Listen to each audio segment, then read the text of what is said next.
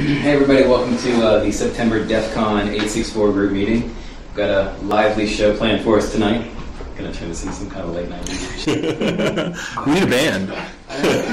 It does, it feels so good to get together and actually see human faces in a room, especially with DEF CON, because it's been so long since we all gathered together. Glad you guys are here and uh, continuing to help grow that hacker community here in Greenville. I really want to see that grow. Thanks for being a part of it. Without further ado, David, I'm gonna pass it over to you and take it away, sir. Uh, my name is David Hyde-Volpe. I don't know if I'm known as anything. Uh, probably known as a lot of different things. Some of them good, some of them bad. But uh, I'm currently a software architect at a financial tech startup. Um, but I've spent time as a security engineer, um, as manager of a security team, um, and that's kind of where the idea for Red Pill came. Is, is during that time, Tr- trying to trying to bridge the gap between engineering and the C level, and then ultimately the board level, um, communicating risk effectively. Say thanks for the invite. I'm going to start off by just giving a little DEF CON story time. Um, uh, I've never been to this local DEF CON chapter before, um, but I've been to uh, DEF CON 27, and I sort of attended 28, although safe mode was, yeah, it's not the same. DEF CON's all about people. Um, and so, um, for those of you who haven't been, I, I want to strongly encourage uh, any desire you have to go, uh, go. Um, if if if you need help uh, communicating to your bosses why it's important, uh, send them my way, and I'll I'll I'll do what I can. Um, but you know, I can I can say uh, from a corporate security standpoint, it was uh, hugely impactful in a positive way um, for my team. I took one person from one engineer from my team and actually the senior um, sysadmin uh, to DEF CON 27. And, you know, we, we were all full of uh, grand ideas about what talks we would go to, and we had it all mapped out, and uh, that was all that was all uh, silliness. Um, the talks the talks are cool, but LineCon is not where it's at. And um, for the most part, you're gonna be sitting in LineCon if you want to go to talk. So don't worry about that. Um, go for the other things. Go for the people. Go for the villages. Go for uh, BadgeCon. Um, and that I want to give a little story on BadgeCon. Um, I got there and we're sitting in LineCon and it was awful. And we're like, this is a, there's no way we're getting into these talks. Um, so we saw this guy wandering around and he seemed to have a mission. So we kind of walked over him to see what his mission was. And he happened to be like a mayor from New York or something. And uh, also um, worked with uh, CIS. Um, and so he's the rare, the super rare breed of politician that actually can communicate intelligently um, about technical topics. Um, so I thought, yeah, yeah, this is a win. So we started kind of, he, invited us to kind of come with him on his badge journey that he was going on. So, you know, we had gotten the badges. Um, if there were a video, I'd show you, but um, the DEF CON 27 badge was like this cool uh, quartz thing. Uh, and it had like a, a, a near field transmitter on the back, and it was like it was pretty cool. Like we didn't know what they did at the time, um, but we knew if they put put put two of them next to each other, they lit up and made some noises. And we spent hours trying to decipher what the, the lights and the noises meant. Um, but that was kind of a waste of time. we didn't know that at the time. Uh, so anyway, we we start following this guy around, and, and we eventually uh, meet up with some other guys, and, and they were already dumping the firmware off of it, and um, they didn't know what to do with it though, because none of them were programmers. Um, so I started teaming up with them and we started reversing it. We ended up reversing it back to C. And of course it was a lot easier than, than what it was at the time to, to, you know, before when it was all in assembly. But, um, it's still not easy to, to figure out what a, oops, what a, um, uh, a, a, disassembled, uh, recompiled, or decompiled, sorry, uh, C code is. Uh, but it was a lot of fun. And we eventually, you know, I, I figured out how the, the badge worked from from the code, and then we were able to create a chameleon badge that solved all the puzzles of the badge by putting like the chameleon badge next to any any badge. Um, so you could just like win. So we we were the first squad to win. Um, it was pretty great. Um, and it was it was BadgeCon, and and as part of this, you know, my senior uh, security engineer learned to uh, take physical devices and dump firmware and just like ask the questions. Um, that's the real, that's the thing, right? Ask the questions. And as soon as we went back to work, we started applying those skills dumping firmware from devices that we had in use, uh, a bunch of our customers had in use, and finding things that we hoped weren't there but were there. And, you know, it ended up being a huge win. Um, and, you know, I just, I strongly recommend it. And, and the biggest thing actually that came out of it was our sysadmin, his eyes were open. And from then on, security was a totally different game at, at our company because our main sysadmin was an ally and not an enemy. Um, so bring bring your favorite sysadmin. Maybe you'll uh, maybe you'll change the dynamic at work. Anyway, that's the end of my plug for going to DEF CON. Go to DEF CON. Just just do it. Okay, so like I said, I was uh, leading a security team. I had you know three people working with me. Um, reported up to a CISO. He reports to the board, and I had a good working relationship with the CISO. And um, so we were talking a lot at a strategic level about. Well, I, actually, let me back up a little bit. This security team, we started from nothing. Like uh, I was the very first security resource um, under the CISO, and there was no previous history. We had no controls in place beyond basic AV, and it was it was bad.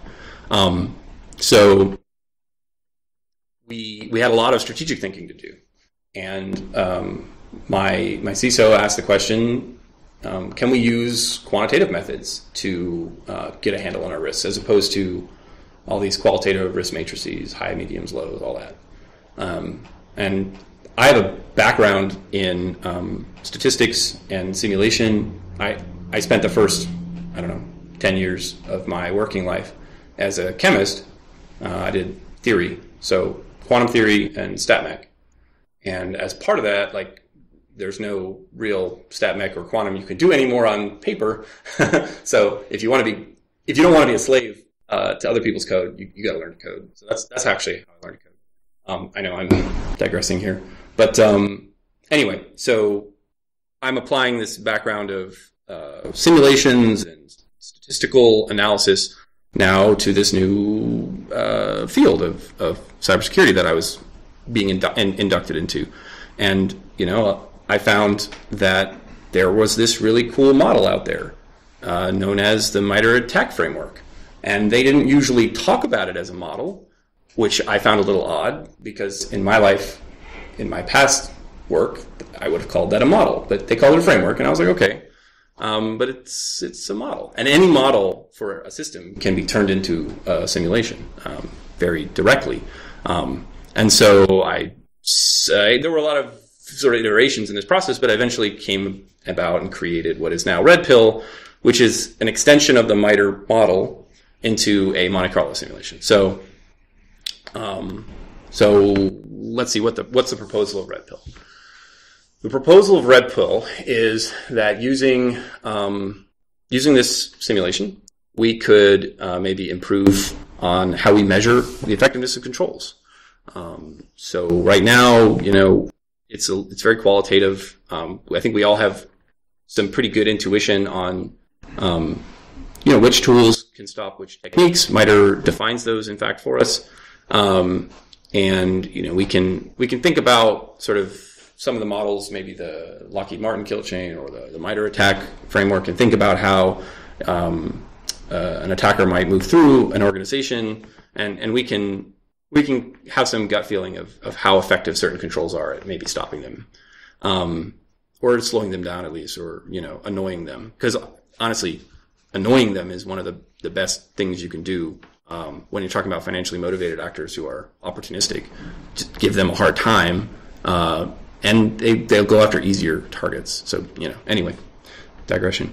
Um, so, what else? Um, so, like I said, uh, the mathematical methods that we're using here are not at all in any way new. These are hundreds of years old.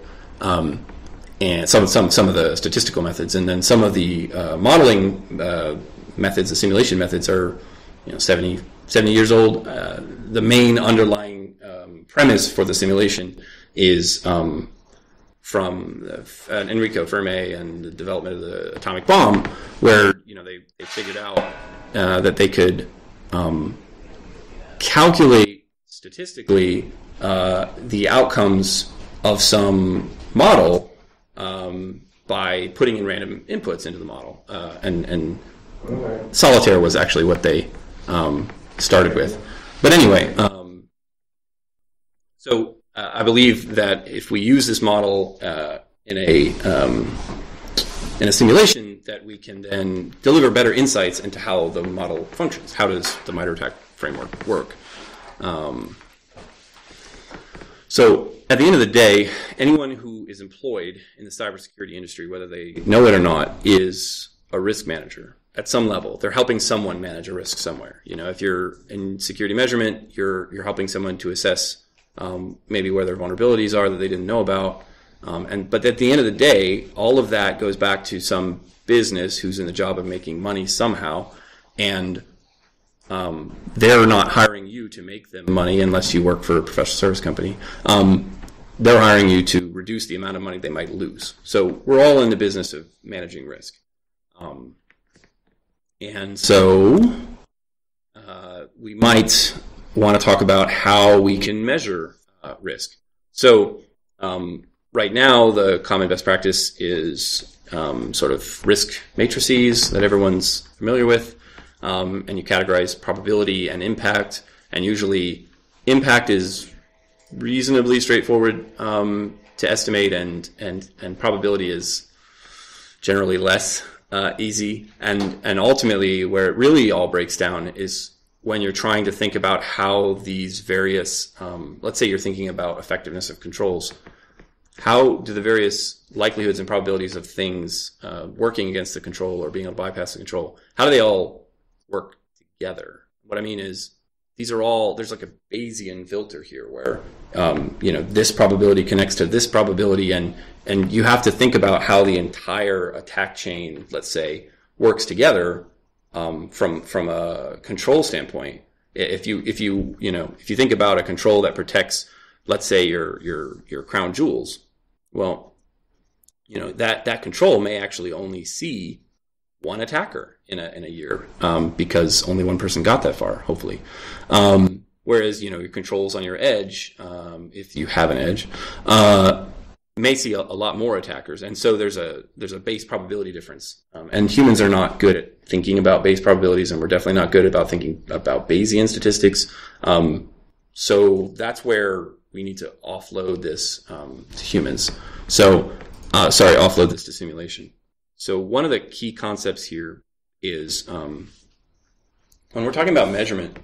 Uh, I think there's often some uh, confusion around what is a measurement. Um, I think a lot of people think of measurement as finding the truth or like the true value of something or like how many of something there is or whatever. And and there's no such thing in reality. Like I, I'm kind of getting deep physically here, but at the very deepest levels of our physical reality, there is no such thing as like a precise anything. Like everything is uncertain. So the position of something is actually deeply physically uncertain. And it's not about our ability to measure. And it's not like we have like, just don't have good enough tools and someday we'll be able to measure it. There's deep uncertainty. And, um, so in science, you learn that like any measurement you make has to be accompanied by some level of uncertainty. Um, and, and there's, this is a key thing to understand, I think, in, in trying to measure risk because, um, I think we get paralyzed when we're trying to make the jump from qualitative to quantitative in in this idea that I have to know what the exact answer is, and I, I don't have enough data, so I can't come up with a quantitative estimate, and and therefore I just won't. I'll just stick with my qualitative estimates. Um, but I, I say that's that's fooey. So like, you don't need to come up with the answer. There's no such thing as the answer. There's a range of, of possibility. And you don't need to say what the answer is. You need to say, how certain are you about certain values? Um, you just, you just need to say a range over which the, the, the real value is likely to fall. Um, and if you can do that for, for a number of fairly simple, um, inputs, then you can generate the inputs required to um, allow the MITRE ATT&CK framework to work as a model for you, and then allow Red Pill as a simulation of that model to, to generate uh, useful output. So um, that's that's a key thing to understand is that in, in making that jump from qualitative to quantitative, you're you're you're you're not trying to find the real answer. There's no such thing. You're trying to reduce your uncertainty around what the answer could be. Okay, so the simulation itself is a Monte Carlo simulation. I kind of made a digression about Monte Carlo a little bit ago. but um, Monte Carlo uh, is um, basically a, it's a technique for um, putting random inputs into a simulation to that matches pro- the proper uh, probability distribution um, for a problem, and then the running through a series of um, steps that a model defines, like in this case, the steps would be okay, we simulate an attacker. The attacker has some distribution of known skills, um, and he goes through uh, an environment that has certain controls. And as he moves through the environment trying to perform these known skills, um, there's a probability of success or failure.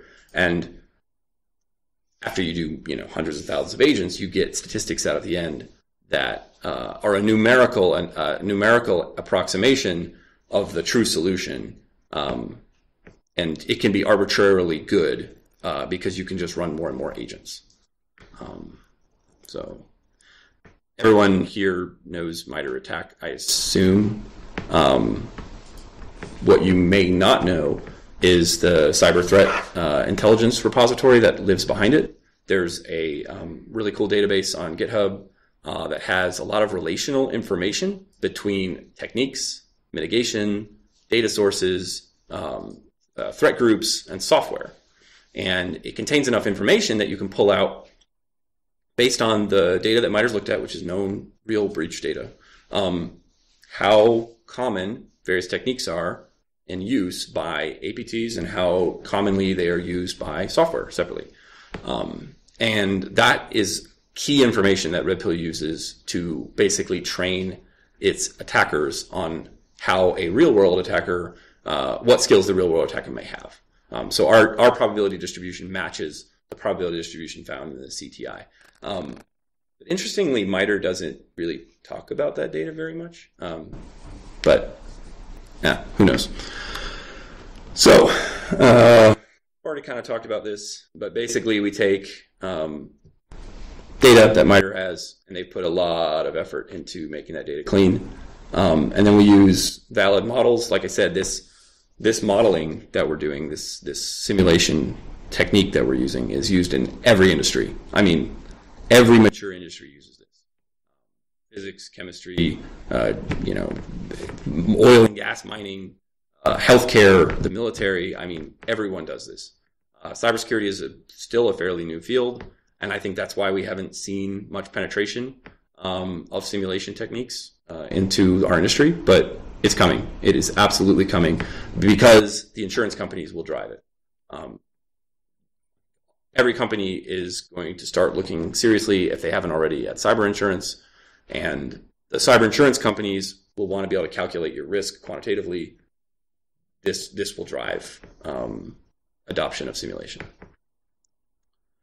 All right, so humans are reasonably good at intuiting likelihood of a particular uh, succinctly defined event. So, um, you know, how, how likely is it that you're going to catch a red light on your way home? Maybe a particular red light. You know, you, you could probably give me, given the fact that you've done it, driven the, driven home from work, you know, a thousand times, probably give me a reasonable range uh, of estimate of, of, of, that event.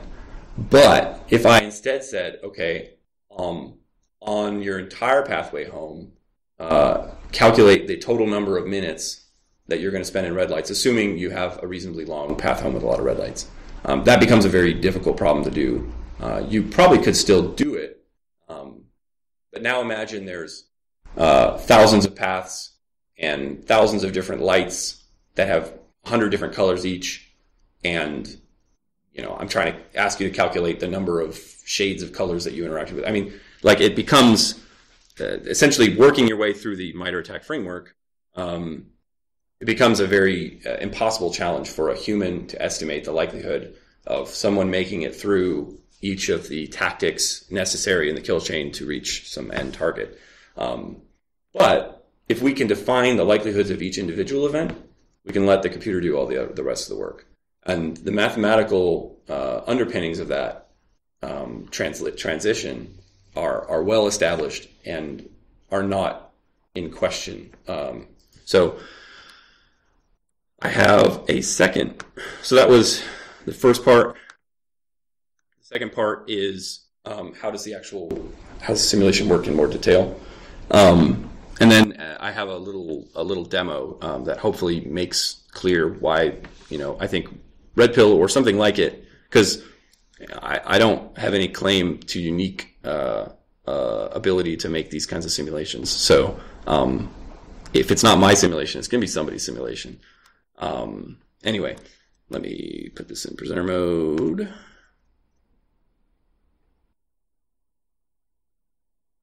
Cool.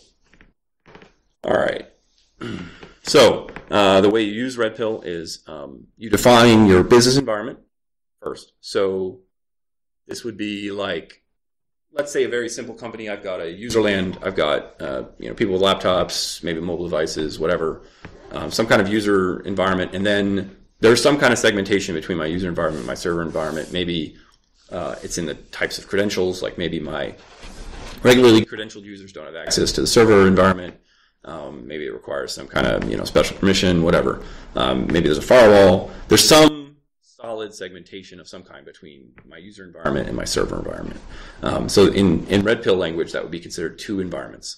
And we're going to model each of them separately, but they're going to have to talk to each other. So um, the the inputs that the user would define are okay. I have a user land, and yes, I have a server land. There's a certain set of environments currently modeled in Red Pill, but it's very easy to add other environments. So like right now, I'm modeling retail environments, user environment, server environment, um, but you, you you could come up with some uh, an industrial control environment or something that you want to model. Um, of course, then you would need the MITRE industrial control uh, attack framework. But um, anyway, so for each of those environments, you then want to collect data on your mitigations and your controls. Um, so this is kind of this is the most uh, this is the heaviest lift for using the simulation effectively is getting good data on what mitigations you have in place and to what uh, effectiveness have you implemented them.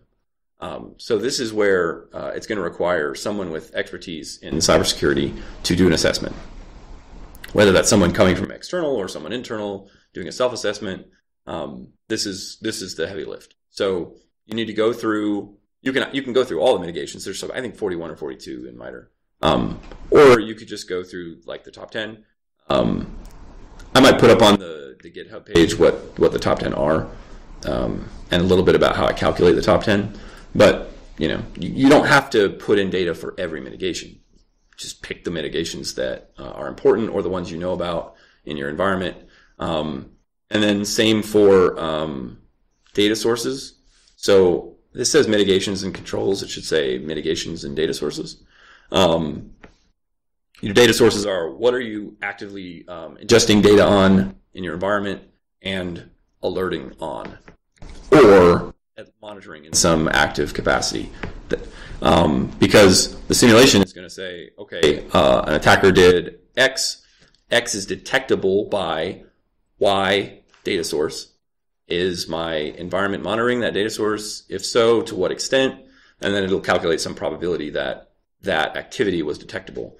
And um, then there's a sort of simulated incident response that happens in the background, and uh, the defenders have a chance to try to sort of catch, kick out the attacker.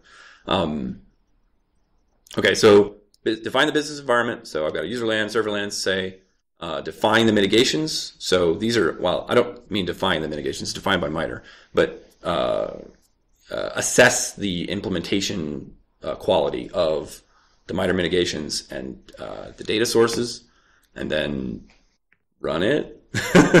um, and then what you get is well, you get a lot. This is this is only one thing that you get. You get an estimated range of effectiveness for each of your controls. So um, we're going to go through a little demo, and so a lot of this will make more sense, hopefully. But um, yeah, you get you get some understanding of how each of your controls is doing specifically. Um, against different types of attackers because you can model financially motivated actors. You can model a red teamer. You can model, um, you know, a targeted nation state, an opportunistic nation state. I've got a modeling there for script kiddies. Um, all of that's user configurable. Um, anyway, uh, you get an indication of you know how many detections did each of your controls actually contribute, or how many blocks did they contribute. Um, and this way, this is kind of the first steps towards calculating um, ROI. Um, so, you know, like I said, we're all risk managers at the end of the day. We're trying to help someone on a board or some executive make a choice about how to expend limited resources. There's limited time for a security team, there's limited amount of money to spend. And if we want to make defenders win against attackers, we have to help defenders spend their time and their resources as effectively as possible. Um, and so that that's what Red Pill aims to do. Um, so pretty picture doesn't whatever. Um, used for a lot of other things. Um, you know, it can be used for single variant analysis. So let's say you want to like you're evaluating, you know, this year you're doing the budget, let's say, and you're evaluating what what security control do we want to add next year. You know, we've got budget and we've got manpower maybe to do um, some kind of widespread, you know, FIM on our servers, or maybe we can do, um, I don't know, packet capture, and we want to know, okay, we know how much that's going to cost. We've estimated how much that's going to cost. How much security ROI? How much risk mitigation are we going to get from that? Um, Red Pill can give you a range, an estimated range on what you should expect to uh, how you should impact your risk. Um, let's see. Uh, you can get so Red Pill itself calculates probabilities. It does not calculate uh, impacts. Um, I have some. I've done a lot of work in calculating impacts, um, and I'd be happy to talk with anyone that wants to um, understand how to calculate impact better. Um, but Red Pill itself just just calculates probabilities of breach. It doesn't get into uh, uh, amount of damages, um, but it's the first step in calculating that. So one of the things that Red Pill needs as an input is an estimate of uh, likely breach event. Um, like I said, I have ways that I can help you to calculate that uh, accurately, um, but it's just for sanity's sake and for Red Pill's sake, it's it's two separate things. Um, Red Pill is focused on probabilities. Anyway, um, so the big thing that this could do, obviously, is be used to um, create a narrative for discussing security in a way that uh, C-level and board level uh, folks can can get on board and understand. Um, you know, you can you can now talk in terms of dollars. Um, you can talk in terms of relative strength of controls. Um, quantitative analysis allows you to, to, do that, where qualitative does not. Um, so I think that's enough with the presentations. Let's get on to the demo. Red Pill's uh, code that I banged out myself, and it's messy. Um, but I've written in C sharp. It's all available on GitHub. Um, it basically has uh, sort of two main uh, classes. Um, MITRE is one class. Uh, well, it has many classes, but it's two main. Uh, I've, I've, kind of grouped them into uh, files. Um, MITRE mostly deals with data itself, like ingesting um, the inputs and uh, the information from the framework itself. Um, and the uninterestingly named program.cs is um, most of the actual simulation itself. Um, it is a, um, like I said, it's a it's a discrete time for for those of you who are in the simulation world. It's a discrete time uh, Monte Carlo simulation where events are Bernoulli distributed, which means um, time is not like a concept really in the in simulation sense that there's not like a clock running as the simulation is playing out. Each action that some agent takes exists sort of in its own timeline, and that has a certain amount of time associated with it. So you do a certain action, it, it costs you a certain amount of time to do that action. Um, so there is a concept of time, but the simulation itself does not like run on some kind of clock. Um, so it's discrete event.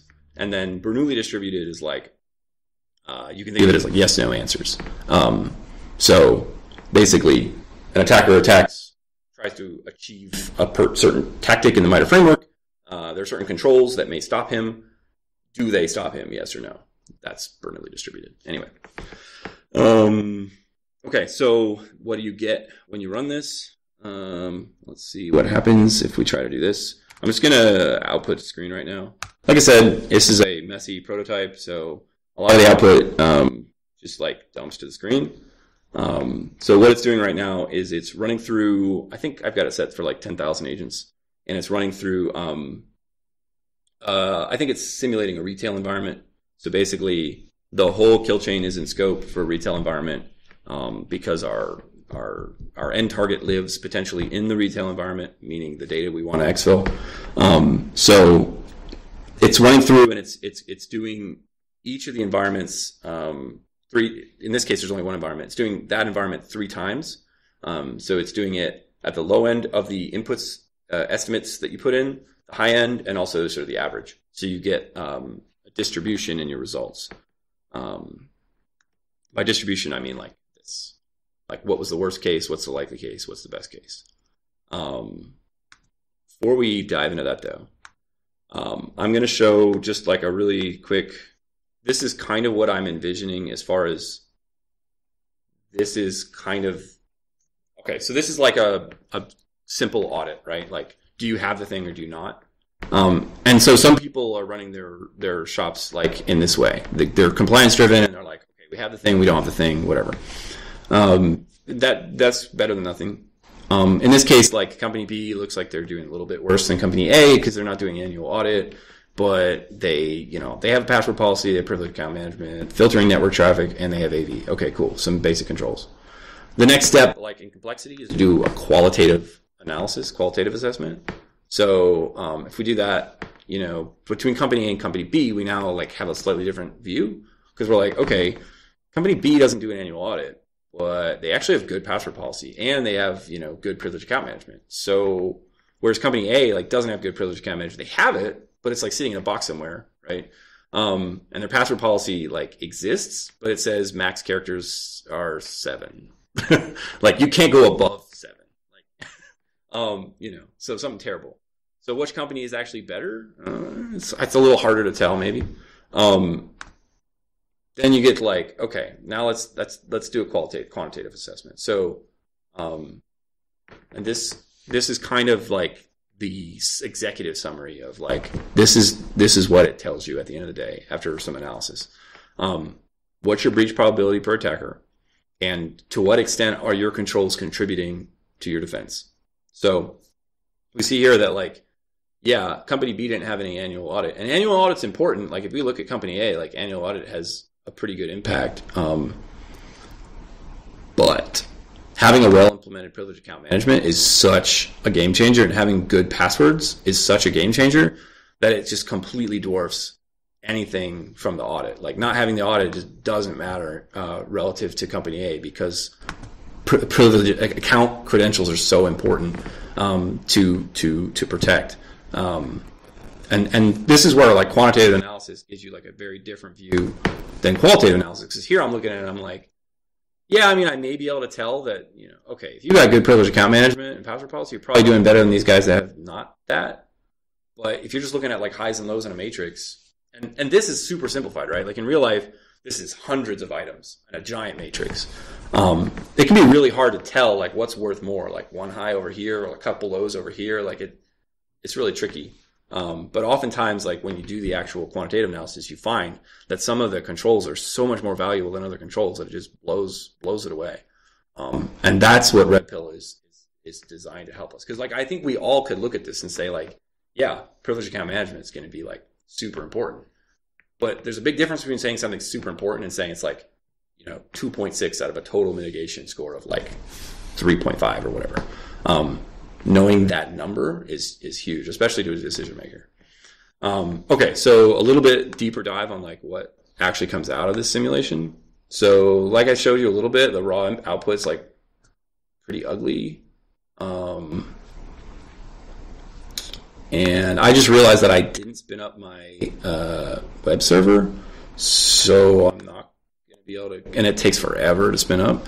So I probably won't be able to show like the layer information. So um, MITRE has a navigator, attack navigator, and it has um, you can you can import custom layers into it. Um, and I've created uh, some output in RedPill where it out, it'll output the layers for you, um, and you can just throw those into the attack navigator. Um, maybe like while someone else is talking later, I'll spin that up and we can maybe show it like at the end or something. But um, so anyway, you get to analyze um, in this like confidence interval, like how successful each of your um, your your mitigations were in terms of um, what I call block score. But basically, it's like the number of times. The way you can think about this block score is like the number of times the average attacker will have trouble in their engagement because of the control. So, like, you know, this company that didn't do a very good job implement, implementing privilege account management, like, on average, you know, 40% of attackers will have one way to think about this particular number is like uh, on average there's about 40% chance that an attacker may have some problem at some point in their engagement uh, because of the fact you're using privilege account management um, and this number can be above one, be above one because you know, let's look at like company uh, B. Company B is the one that like actually has good privilege account management. The number can be above one because privilege account management can stop the attacker at multiple points um, in his attempt to get to his target. Um, okay, so that's that's kind of the output. Uh, for this simple simulation, I didn't I didn't put detection in here, um, but what you would get was very similar. It's like um, you know how many of your detects came from these different sources, um, and then you have like this. This is like this is what you hand to you know your your your CISO when you're like, hey, we really need to spend more money on X. Um, here's kind of here's your pitch. So, like I said, this number is an input, the average single loss expectancy. And anyone who wants to talk uh, with me more about how you can calculate that number, I can I can help. Um, but RedPill does not calculate that number. Anyway, um, so that's an input. The other input here is how many attackers you expect. I'm working with uh, some folks on how to get a good calculation for that number. Um, right now, that's an input but soon it will not be. Um, soon it will be something that's calculated based on your digital footprint uh, in various different ways. Um, but anyway, so if we know the probability that a single attacker will breach you, and we know the likelihood of a serious attacker uh, interacting with your organization, um, then we can calculate the annual single breach probability. If we know what you uh, what your expected loss for a single breach event is, we can then calculate your expected annual loss. Um, and we can also calculate what your loss would be if you didn't have a security program or if you didn't have a particular control in your security program or if your response time SLA was, you know, increased by four hours. Whatever you want to analyze, you can analyze and say, what would be the difference in my expected loss, my expected risk? And, and that is the return that you get from having that. Now, of course, the other piece of information that's not in here that you would want to include is how much does this thing cost, right? So I haven't, I have no cost calculations in here right now. So you could, but you could very easily add, you know, okay, this, this control cost me half a full-time employee to run and $50,000 a year in annual licensing and then plug that in here and, and really get your, you know, return on a control. And maybe some controls need to go away and that money needs to be reallocated to different controls. And that, that's the point. That's why it's called red pill.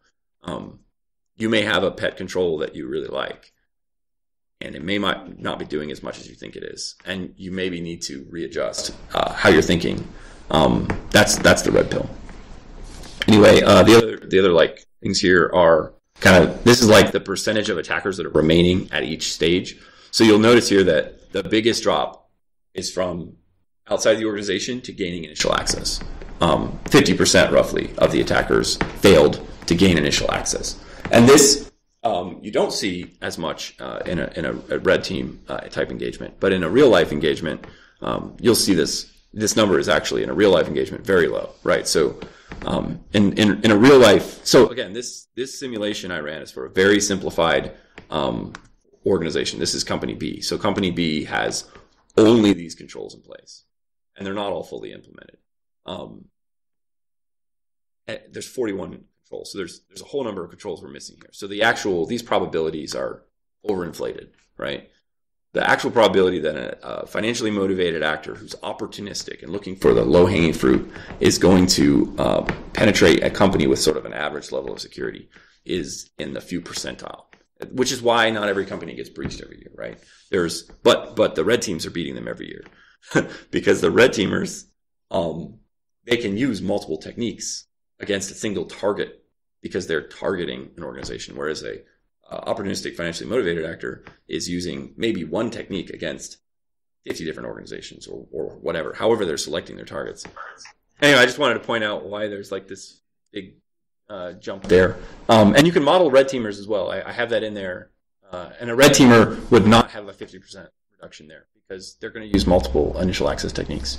Um, and I think that's that's the majority of what I have. Um, would would happily field any any questions.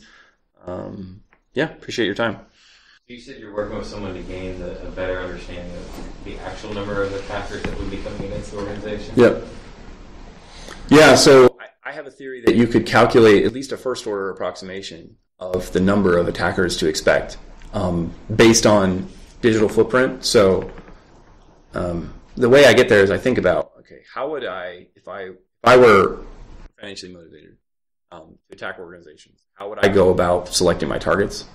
Um, I would probably use something like Recon-ng and figure out, you know, how many identities, digital identities can I get on a company? Like, how many email addresses can I, can I grab? And, and then I would just create automation to apply different attacks to that group, that body of, of identities that I've collected. So the more identities that a company has out there, the more email addresses, let's say, that they have publicly available, um, the higher, the larger number of financially motivated actors are likely to hit their organization. Is my theory, and and not just and not just the number of financially motivated, motivated actors, but the number of unique attacks against the organization from maybe even the same actor over and over again, right? Because he's he's created some automation and he's hitting all thousand of your your accounts that are out there. Um, so that's one that's one angle to it. I think there's another angle to it for more targeted attackers, and that angle is um, how valuable are your crown jewels? Um, I think there are some subset of attackers that are targeted in their attacks, and they have some information on the, the crown jewels that they're going after. And so, um, modeling the number of attackers based on the value of your crown jewels, I think, is also going to be part of that, that calculation. That's going to be really helpful. How long have you been working on this? the first the first iteration of this was a spreadsheet, uh, probably I want to say a year ago. I have a terrible memory, so I don't know. I think about a year ago. But but the idea of it is about two and a half years old. Um, at that time, it wasn't living on the MITRE model yet. It was just an idea that if we had a model, mm-hmm. we could do something like this. But so it's basically like an actuarial table for cybersecurity. Yeah, um, actually, I have I have other data Let's see. show something that's a little bit more like that. Let's see, Monte Carlo. So this is not actually RedPill, but this is one of the ways you can calculate like loss. Mm. Um, so yeah, so the the the distribution of likely um, breach events is actually follows a um, a log normal distribution. Mm-hmm. Um, and so you see these like big, big, long long tail uh, risks. And this is what terrifies uh, insurance companies, by the way. This is what they want to understand. Because not, most risks do not work this way. Uh, there are very few risks that work this way, and it's usually when there's a um, connection between failure events, where one failure event will lead to another failure event.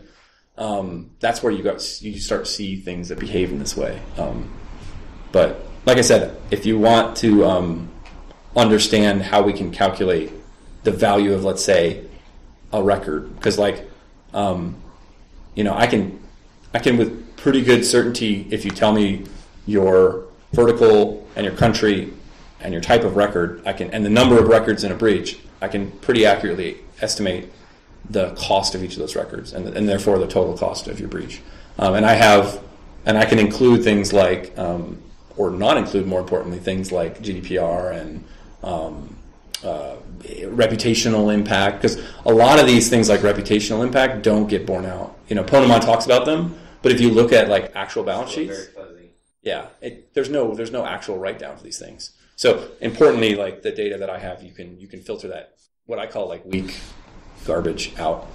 Um, and get to the hard costs. You know, the, the litigation costs, the the cleanup costs, um, the IR the IR costs, like you know the real costs. Um, but anyway, is that Yep.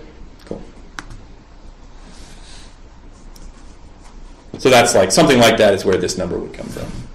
So could this be used in the reverse instead of it being a blue team way of helping the business see its best dollar per impact? Could it be used on the converse as a red teamer to say what's the best attack path in, a, in an organization? Yeah, yeah, but I would assume most red teamers um, wouldn't Probably be have their playbook that they normally run off of. Probably, yeah. Um, but also, they they probably aren't being given this information by their customer. I would think. Like, um, but you certainly could if you had a customer that's willing to share that much um, before your engagement. You could plan out an engagement based on what con- what controls they have in place, and this would absolutely tell you. And and one of the layers I output to the attack navigator is what your most likely success path is um, as an attacker. I will say it makes me wonder if it would actually calm their nerves and as far as scope. Yeah.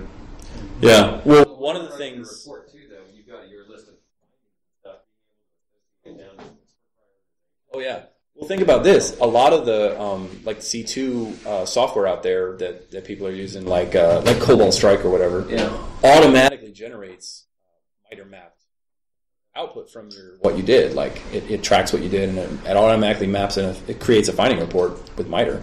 So some with something like that, you could tack on RedPill to that pretty easily, and you could even and I I'm thinking of ways to do this right now. I, I haven't validated them.